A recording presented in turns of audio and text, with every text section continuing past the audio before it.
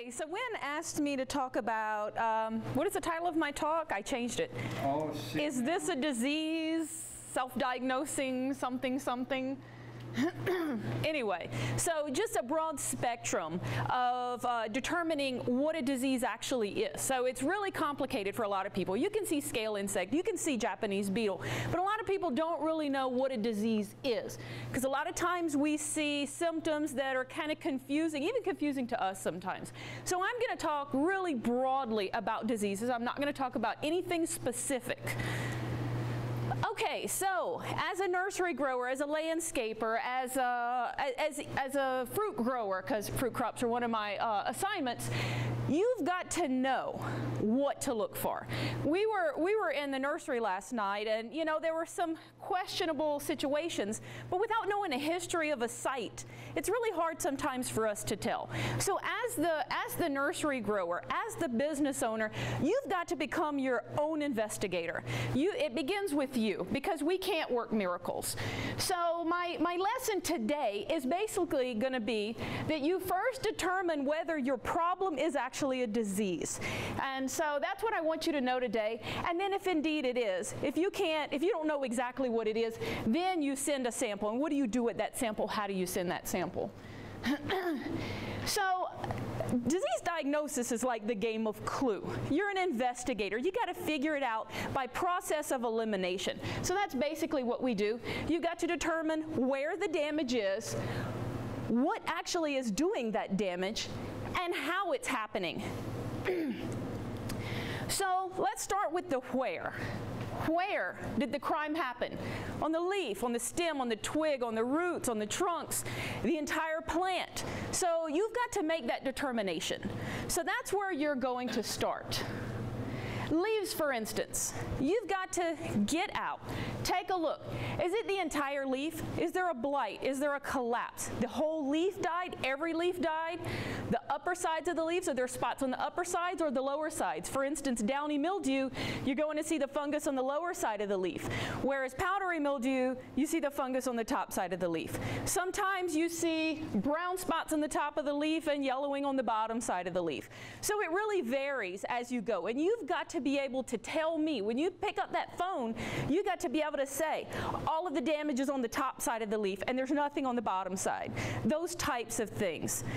Is it only the new leaves that are damaged? So if it's just the new leaves and not the older leaves, that kind of gives us an indication of when infection happened or if it actually is, is an infection at all is the damage on the leaf margins. We're going to see that today when we go out to the nursery. Damage on the leaf margins, which indeed is not a plant disease. So typically when you see a, a scorch or a margin burn, unless it's some kind of vascular wilt, it's typically not going to be a plant disease. So those types of things, just to be able to hold a conversation with me or with your agent and be able to say where the damage occurred on that leaf, not just it's the leaves. Um, inner canopy, especially with your conifers, is the defoliation happening from the inside of the canopy and not on the outside, or in the lower canopy and not on the top.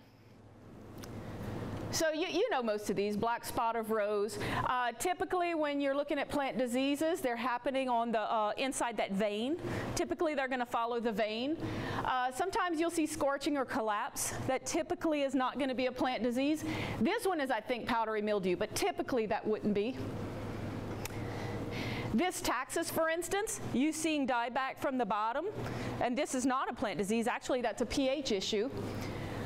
Um, entire, this entire plant here collapsing, that's a root issue. So if there's no uptake to the entire plant, it's going to be probably a root issue of some sort. Overall decline, a lot of times that's some kind of uptake issue, whether it's a damaged root system or um, some kind of canker or crown rot, some type of mechanical damage like mower damage uh, that can eventually lead to some type of rotting, a secondary uh, trunk rot.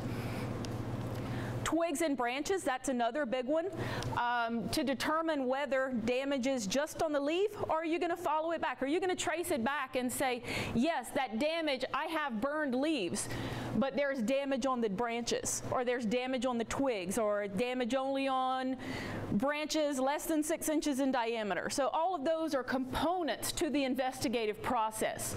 Is it young twigs? Is it the lower branches? Is it the upper branches? the upper canopy. Um, we're going to see some of this. A lot of times this would be an indication of sun scald or some, something like that. Sometimes insect damage will do that. Uh, we see galling, sometimes it's from guide wires, that type of thing. This is what we call a trunk canker or a, um, or a canker where the blackening is usually pretty soft. And usually if you pop that bark out, you're going to see rotting tissue underneath. So those types of things to determine what type of trunk damage, branch damage. Uh, any greenhouse growers in here? No? Okay. Um, and, and, a lot of times your more herbaceous plants, they're going to more collapse than cause a, um, a solid canker at the soil line, determining what's happening at the soil line. Uh, digging back, getting on your hands and knees, pulling back grass. A lot of times if there's grass, you're not seeing what's happening at the soil line. Um, it could be mole, uh, vole, or uh, rat damage. It could be a, root, a, a rotting type uh, root rot, crown rot pathogen. Um, upper trunk, how high is it happening? A lot of your water molds, your Phytophthora root rots, they're not going to occur much more than a couple of feet off the ground if they're not at the soil line at all. Whereas if they're higher, that helps us make a determination of exactly what it could be, process of elimination. is the rot watery and mushy? A lot of times that's an indication of a, a water mold, Phytophthora or Pythium type root rot versus a dry rot, which could be um, black root rot or some, something like that. Um, a lot of times you'll see bark splitting, bark cracking. That's another word you've got to be able to say and you've got to be able to see it. When you pick up that phone, be able to say, oh yeah, by the way, there's cracking on the southwest side or they're splitting, uh, you know, across the entire trunk. Cankers, that's a really important one. A canker is basically a limb or a stem lesion. So on your greener, on your greener limbs, your canker is going to look a little bit different than that black trunk I showed you a few slides ago. So to be able to say those things. So again, the investigative process, trace it back. What do you see? Exactly what do you see and what's happening there? Uh, these pine seedlings, this is a Phytophthora root rot, and you'll see healthy, roots, and as infection gets worse, you see fewer white roots. So that's something else to be able to dig those plants up and examine that root. Because usually if you see decline or a complete collapse of a complete plant, you're going to start tracing back. And if you're not seeing any kind of cankers on the trunks or stems, you're going to dig that plant up. Don't pull the plant, dig the plant, shake it out. What kind of root system do you have? Do you have a sufficient root system? Because we can't help you by looking at the top of this plant. If the, if the pathogen is not in the top of the plant, we can't diagnose it without the entire plant. So you've got to get it started. You've got to show us, tell us what you've got. A couple of more root pictures. This is a Phytophthora root rot in a container. You do much contain you don't do much container growing. You do have containers? Where I'm from, everything is containers. But um, your root rot pathogens are basically, your roots are going to be black. Uh, black root rot, they're also black, but your um, and your water molds are going to be mushy and stinky. You're going to smell them. They're going to be wet. Um, so if you're having a problem, if you're having collapse, pop that uh, contain, pop that plant out of the container, take a look at it. Any, uh, no greenhouse growers here, but even in the landscape, digging up herbaceous plants and see what's happening. Is that root system reduced? Okay, next, next section. How does infection happen? Is it through wounds? Microclimates, we'll see those types of things today. Is it vectored by some insect, like viruses for instance? They're vectored by different types of insects. Or is there just a really high inoculum load? I was in a vineyard yesterday that had, um, had an anthracnose problem last year. They didn't do anything about it. So this year, even though conditions weren't conducive for disease, there was just so much of that fungus that overwintered in that vineyard. And so infection came again. And that can really happen. It can happen in the nursery, it can happen in the landscape, it can happen anywhere. So let's talk a second about wounds. You've seen some of these pictures already, but if you wound a plant, you're opening a door for some of these pathogens, secondary pathogens even. You wound it, you're going to probably get some kind of pathogen entered. Mower damage, weed eater damage. You see it in the balled and Burlap nursery too. You open it up, you've got a lot of wood rotters that can go in there that normally would not. So just like JC was saying earlier about keeping your plants healthy, it's the same concept.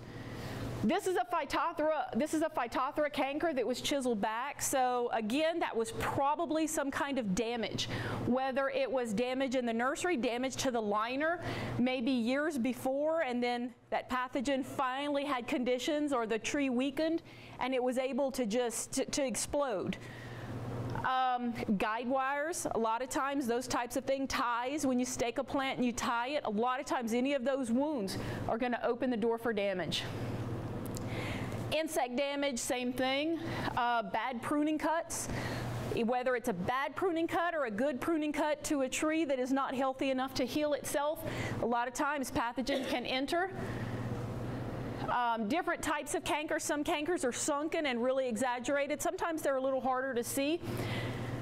But a bad wound, sometimes a canker, what happens is the rot is happening deep into the tree. And as those branches are girdling out, nutrients and water cannot be uptaken into that plant. So as it gets hotter and drier during the summer, everything above that wound is going to collapse. So we call that blight. So if one morning you wake up and an entire branch has collapsed, if you trace it back, you can probably find this.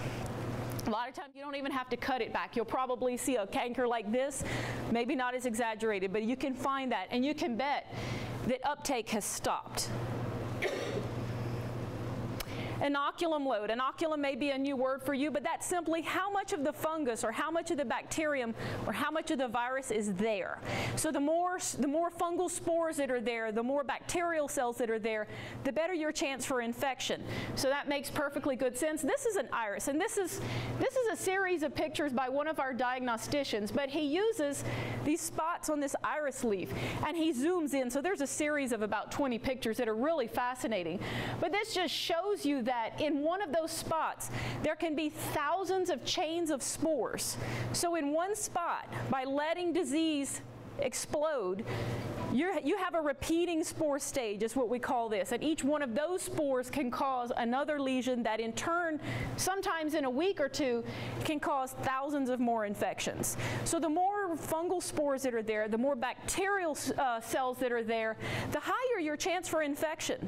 Whether you have wounding or whether they're just there on the leaf and, and they're ready to infect. So uh, sanitation, keeping, keeping diseased leaves out of the nursery, cutting those cankers out, not letting those uh, pathogens produce spores or produce new bacterial cells. You're really reducing your chance for new infections. Uh, this nursery, this is an example of something I see a lot where uh, foliar leaf spots, those types of things, leaves fall to the ground. They're not cleaned up. And I know it's hard, but not cleaning them up. Those, those fungi are overwintering in those dead leaves. And next spring, when it starts warming up and the, it starts raining, all of those leaves, all of those spots are going to start producing new spores and blow and splash right back up into those healthy canopies. Are a little bit different in the spring. Those cankers are going to produce a lot of these fruiting structures. They're, they, you can usually see those. They look like black pepper flakes, and they will open up, and they are also full of spores. So removing sanitation, removing sources of inoculum is going to reduce your risk. Vectors, uh, especially in cases of viruses, um, a lot of insects will vector different viruses. Usually they're fairly host specific. Whiteflies, thrips, aphids, mites, a lot of vectoring. So if you have insect problems, don't think that they can't carry a virus if you do have any, any type of uh, viral issues. Some of your borers and beetles will also transmit diseases. Um, chestnut blight is vectored by a beetle. Thousand cankers disease, again, vectored by a beetle. So don't think these pathogens can't move by anything besides wind. Microclimates. This is a really important one. Microclimate is simply, like we'll see today, you have one small area with a specific um, specific conditions, whether it's really humid on the inner canopy of a tree, or whether it's the lower spot on a nursery where, where the hill goes down and your fog settles in the mornings. Any of those microclimates are possible. So you can still see um, downy mildew, for instance, in really low areas at this time of year, even though it hasn't rained in forever. um, irrigation, overhead irrigation, wetting leaves. Again, the wetter the leaves, the more, the more sporulation, especially by fungi, and wash down of bacterial cells, and that's going to really spread. Poor air circulation, that's another thing. The closer your plants are together, the less air circulation, the slower your plants are going to dry, and those humid conditions, those really wet conditions or humid conditions, are going to um, be perfect breeding spots for fungal, for fungi and bacteria, especially fungi. Um, nurseries, really, you know, once you get into trees, you plant them as the trees grow, canopies grow. It becomes more humid in there, especially in those inner canopies. Uh, greenhouses, notorious for, for issues that that are sometimes uncontrollable. But anything with close spacing, anything that holds humidity, especially overhead irrigation. Uh, so pruning, thinning, letting air circulate. Okay, so how do you know what is actually causing the problem? So if you've if you know what's happening, if you know where it's happening, and what the symptoms are, you then need to decide, is this a fungus? Is this a virus? Is it a bacterium? Or is it no pathogen at all? So fungi, leaf spots, those are usually pretty easy. Usually a pathogen, a, a fungal pathogen is going to cause a pretty round spot, if not kind of blotchy, but a pretty round spot, and usually that spot is going to jump across leaf veins. So it knows no boundaries. Uh, sometimes we get rust that are raised. Pu uh, the pustules will be raised. You can look at them from an angle and you can see the, ra uh, the raised lesions. These are pycnidia, a lot of your cankers or your uh, conifer diseases. They're going to cause larger fruiting bodies. You'll be able to see them a little more easily. Sometimes they're orangish yellow or salmon colored. Um, on conifers, typically they're going to be like the size of pepper flakes. They're going to be black on the undersides of the leaves or the needles. There are some fungi that cause vascular wilts, so they will colonize the vascular system of uh, plants and cause a collapse. Um, most of the time it's not a fungal wilt, but there are some. Greenhouses, again, you're going to see things like botrytis or gray mold, and it's going to collapse a lot of things. So sometimes you can actually see the fungus. Bacteria are a little bit different. Typically, your bacterial leaf spots are going to be angular and they're going to be limited by veins. So they're gonna, so if you see this hydrangea up here, you see those spots are not round, they don't jump across the veins, they're limited by those leaf veins. There are some, there are some um, bacterial wilts that are going to cause wedge-shaped leaf lesions, and rarely we see a vascular uh, bacterial infection. This is bacterial leaf scorch, which is already active in Tennessee, I read yesterday. But um, Bacterial leaf scorch is a vascular, vascular clogging type symptom. So what happens is when it gets hot and dry, there is no water uptake again, so you start seeing scorching. So this would typically be something we call an abiotic or a non-pathogenic uh, symptom. But in the case of bacterial leaf scorch, it is indeed a, um, a bacterial pathogen. Bacteria, typically when they do colonize the vascular system, we'll see what we call bacterial streaming. For those with herbaceous plants, anybody in the landscape business, if you cut it and you dunk it into water, you'll see the bacterial cells. You can see they're kind of milky, they, they flow kind of in a milky looking um, uh, gelatinous type material. So bacterial cells occur by the thousands, uh, even a lot more than fungal uh, pathogens. And our, our last um, major group is what we call water molds. That's where you're going to get into your Phytophthora, Pythium, downy mildews. Water molds are not true fungi, and water molds require a constant film of water to complete their life cycle. That's going to be the overwatering symptom, where you're overwatering or you have bad drainage or it rained a lot. A lot of times you're going to see those water molds. When it dries out, you're not going to see Phytophthora. Typically, that would be a really wet season disease. Um, you see it a lot in containers, but also you can see it in your nursery. Water molds, let me say too, are not true fungi, so they are not controlled with true fungicides. You're going to usually use something like uh, ProPhyt or Aliette or those types of uh, those types of products to control your water molds. So uh, typical fungicide is not going to be effective. Here are a few more water mold pictures. I mentioned Phytophthora earlier. If it's occurring in the container nursery, if your irrigation is going and you have a really rainy period, you're probably going to see some Phytophthora. It's usually pretty common. So even though it can be introduced, you're typically always going to have Phytophthora, and when conditions are conducive for disease, then it explodes. But watery, mushy, stinky roots is your number one indication that it is a water mold root rot and not a fungal root rot. You can smell it. There's no doubt what's going on. some of your some of your root rots are going to cause reduced root systems. They can cause uh, rots at the soil line because they're a soil-borne uh, pathogen, and there won't be any feeder roots. So what happens is as your root system is reduced, then as it gets hotter and drier, again there won't be enough roots to take up the water and nutrients that the plant needs. So if you had a Phytophthora root rot that didn't completely kill the plant in the spring, it may not be until July or August that you actually see the plant collapse when its root system just cannot support that upper canopy. Viruses, not something really common with the exception of rose rosette disease. That's something we're all seeing over and over again. Viruses typically are systemic, so once a plant is infected, the entire plant is infected, even though one branch is showing symptoms. We're having problems with a lot of growers who are propagating their uh, virus-infected plants. They're cutting off the disease, the symptomatic branches, and then they're continuing to propagate these, these plants, and they're spreading. They're actually growing virus-ridden plants and then selling them out. So that's something pretty common.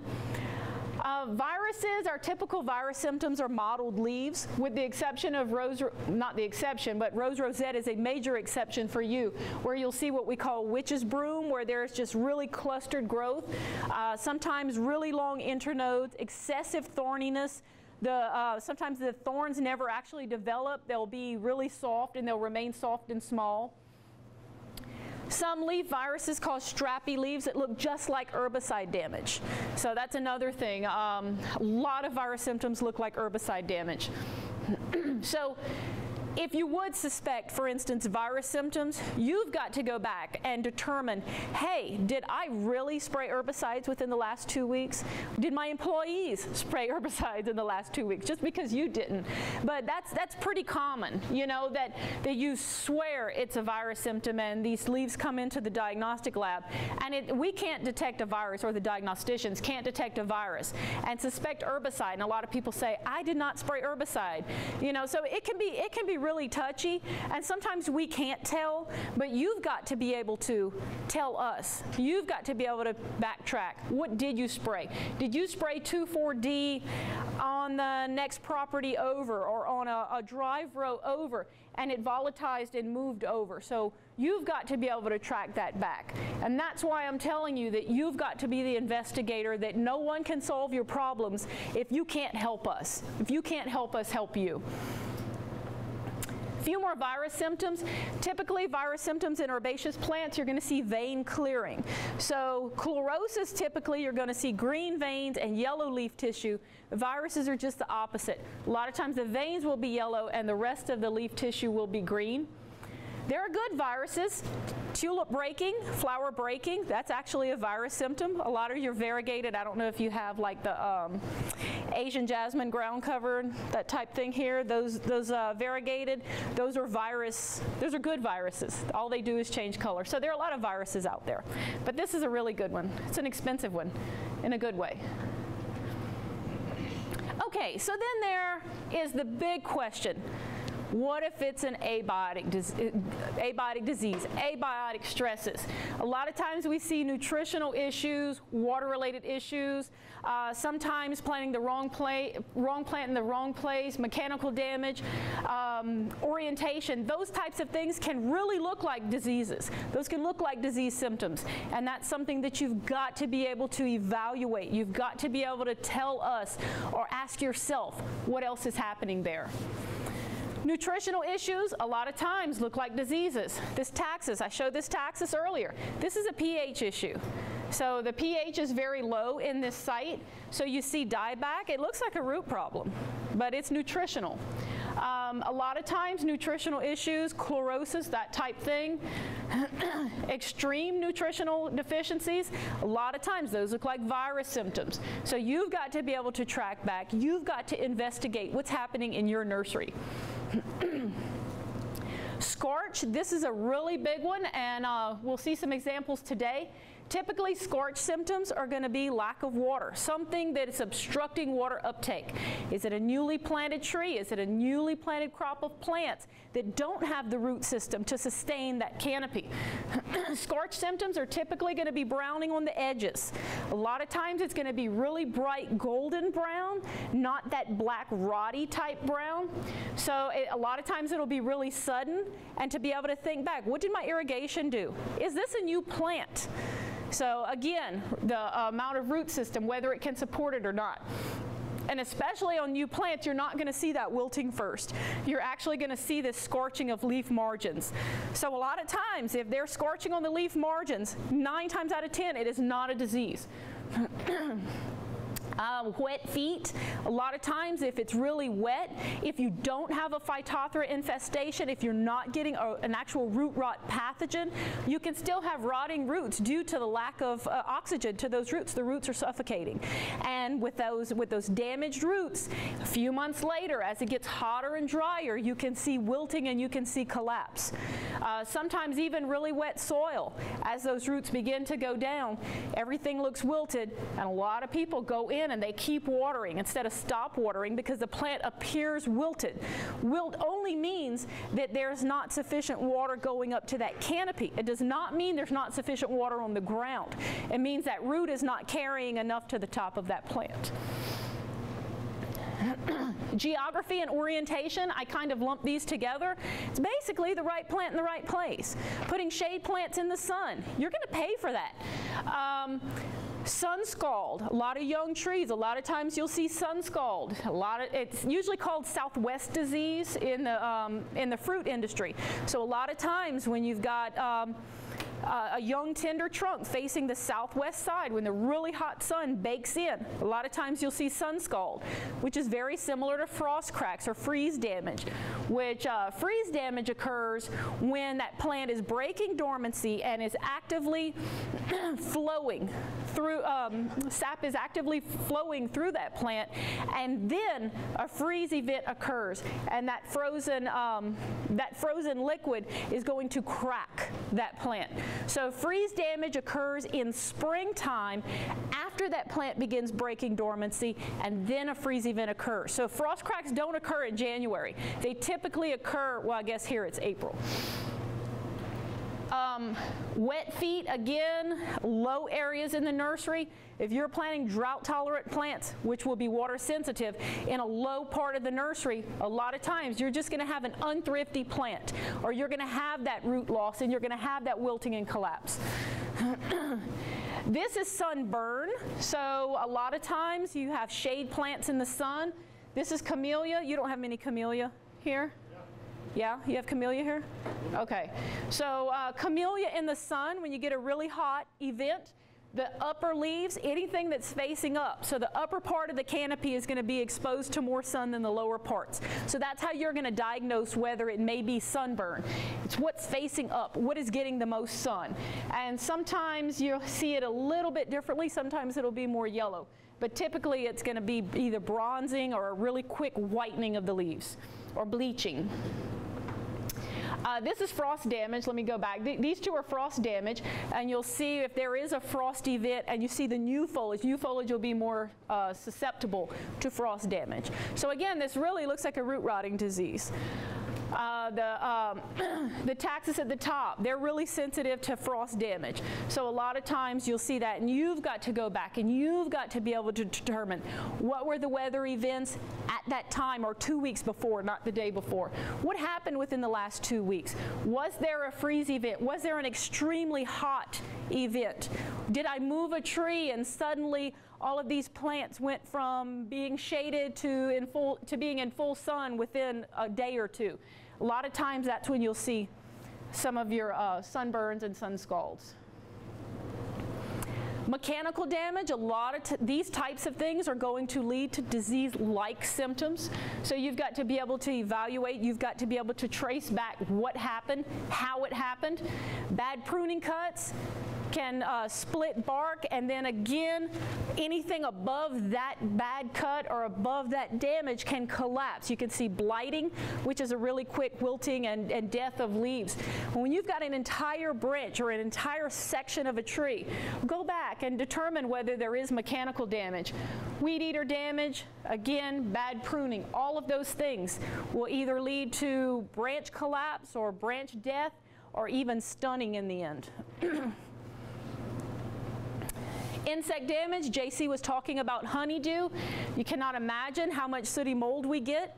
People thinking it's a disease, not realizing that aphids just eat more than their bodies can handle, and uh, honeydew feeds on those excess sugars that are excreted. Um, galls on oak, galls come in, everybody, I got an email the other day that said they had seed, the guy had seeds growing on his leaves. So popcorn growth, that was another one with, I mean, just within the last month.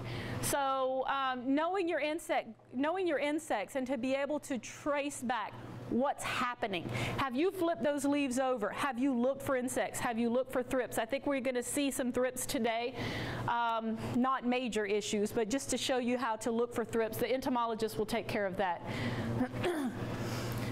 So, you know, to determine what's actually happening and not exactly the symptom, to trace it back, be your own investigator. So in the end, you've put everything I told you together. In the end, you know whether it is or is not an abiotic issue, whether it's probably viral or it's probably mechanical damage. Then what do you do with it? That's when you get on your hands and knees. That's when you trace it back and you put together everything you've learned. Is it a fungal leaf spot or is it sun scald? is the wilt from a drought or is the wilt from a root rotting disease? Uh, those types of things. Is the witch's broom caused by a virus or herbicide? Did you spray herbicide? Is there a shade plant in the sun? Or is there really a problem? So all of those types of things. That's why you are the investigator. That is why you have got to be the front line to the diagnostic process. Because a few dead leaves are not going to help us help you.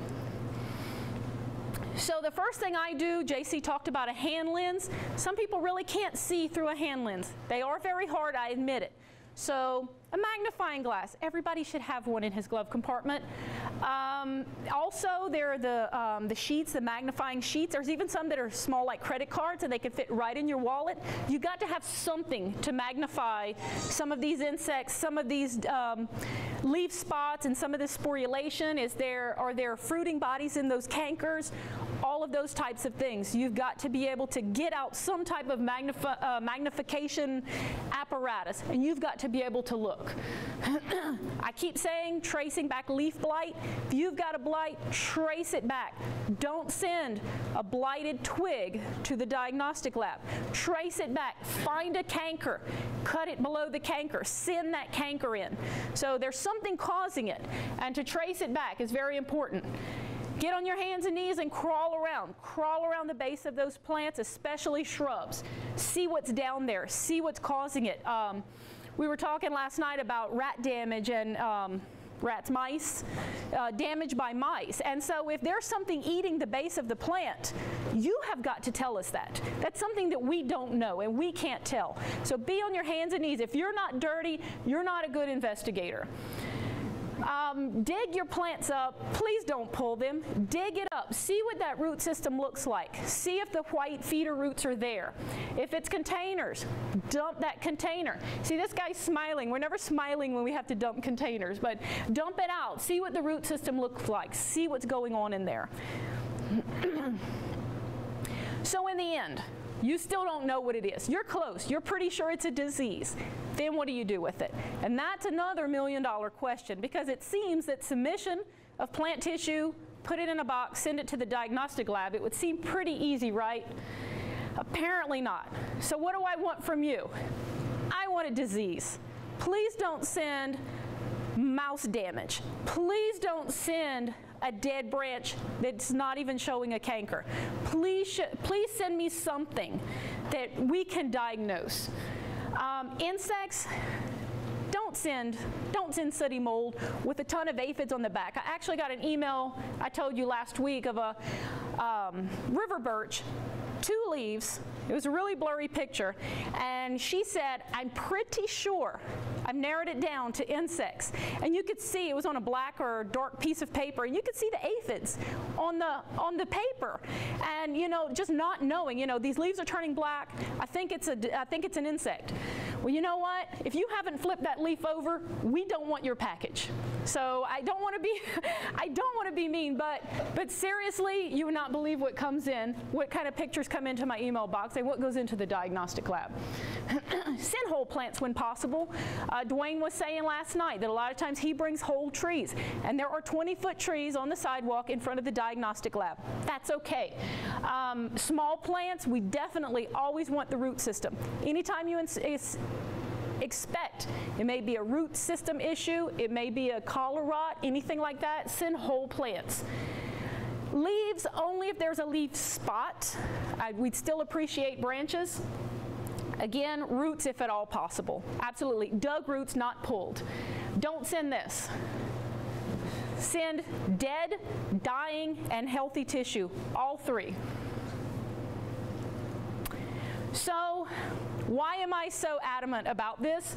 Because two-thirds of the samples that arrive at the diagnostic lab are not diagnosed with disease. They're either insufficient samples, or it's some kind of um, abiotic stress, it's some type of cultural issue, sometimes it's chemical injury, sometimes it's insects, but two-thirds of the plants that actually come into the diagnostic lab come back as no diagnosis. And then you're very upset because you know you've got a problem and you need help. So that's, that's my point today, is to be your own investigator, determine what you think is going on, and at least send us a sufficient sample so that we can help you determine exactly what the problem is. So only 30% of the samples that came in 2010 to the diagnostic lab were actually pathogenic. I know, my mouth dropped too, and so I started going back to all the others. So I just got here, so I started going back to all the reports, and year after year, only a third are actually pathogenic. If you want to know, your agent is always going to help you submit a sample, but you can just Google um, Kentucky Plant Pathology or University of Kentucky Plant Pathology. When you get to the website, um, there are description forms that'll help you that'll help you tell us what's happening. There are two different forms. Uh, they'll tell you how to submit the sample. They'll ask you to put it in a plastic bag so that if there is a fungal pathogen, it can be producing spores and not shriveling up so they can look at the spores. Um, I've said all of this already. Dead is too late. There's nothing here but saprophytic type fungi that are feeding on dead wood. Dig, don't pull. Submit the entire plant when possible. Branches should be at least 12 inches long. If they're too big to put in the box, cut them in pieces. That's okay.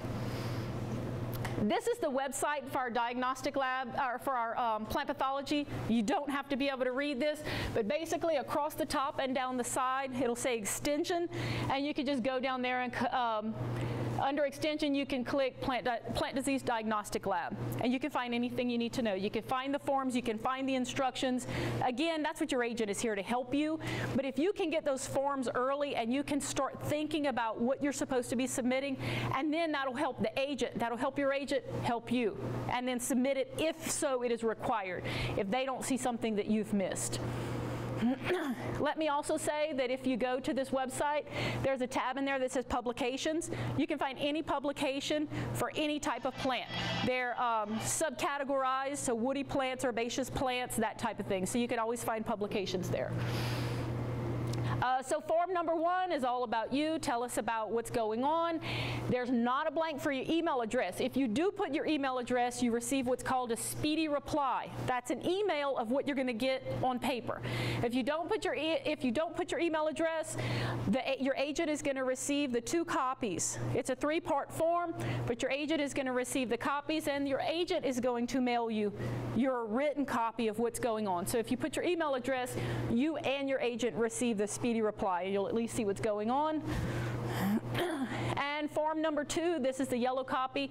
This is a, two, two-part form, front and back, and there's a lot of information there. They're asking for a lot of information. When was the last time you fertilized? How much did you fertilize? Have you sprayed herbicides? All of those questions, all of those things I've presented to you today, they're going to be on that form. And the more you can fill out, the more you can help us help you. so, now I've thrown a lot of information at you. You don't have any disease specifics today, but hopefully you can at least get out there and kind of evaluate what you've got, what your situation is, and what to do with it. And so that if you do choose to send an email to your agent instead of bringing in a plant, you've at least kind of thought it out and at least photographed the trunk or photographed a canker or photographed something that may be the causal agent of your problem. So I'm going to leave this up. Um, I do run a Facebook that I'll have pictures of whatever's going on. I took pictures of powdery mildew on oak last night and I posted it on there.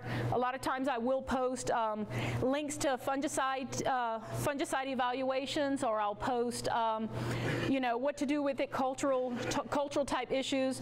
I mix ornamentals and fruit crops because those are my assignments. the web address is too long so you could just, in the search box for Facebook, just type in UK diseases of whatever, and if you hit diseases in UK, it'll pretty much pop up. Uh, they all forward to Twitter. I personally don't like Twitter, but all my Facebook um, um, posts go to Twitter, and I do run a blog, and that's going to be really specific, but that'll also go to Facebook. So they're all linked together in this horrible, over, over informative kind of way. But that's gonna, that's gonna tell you a little bit more detail on how to control something and actually list a lot of fungicides. So if you see something really detailed on my Facebook, it just links back. So I'll leave that up there, and um, anyone is welcome to email me. If you do email me, I will reply to you and copy your agent. So you, you should work through your agents, but if anybody has any questions, we all try to work together to help you. And I do not object to you sending bad pictures sometimes if you really don't know. I would just expect you to think about it so that you can have a better chance of getting a diagnosis and helping your situation so that you don't lose money. This video has been part of the University of Kentucky Nursery Crops web series. For more information on the topics discussed, please contact your county extension office.